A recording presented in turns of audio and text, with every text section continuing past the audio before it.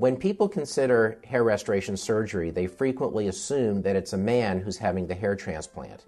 However, 30% of women over the age of 50 have a significant degree of hair loss that impairs their ability to style their hair as they would prefer. Very frequently, we perform hair restoration in women.